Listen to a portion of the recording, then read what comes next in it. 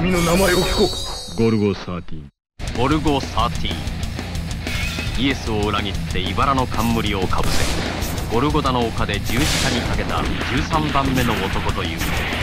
一度でも姿を見られたらそんな手は使う殺しに徹したプロフェッショナル。あとは一切不明の謎の男。ゴルゴ13一体何者なのか。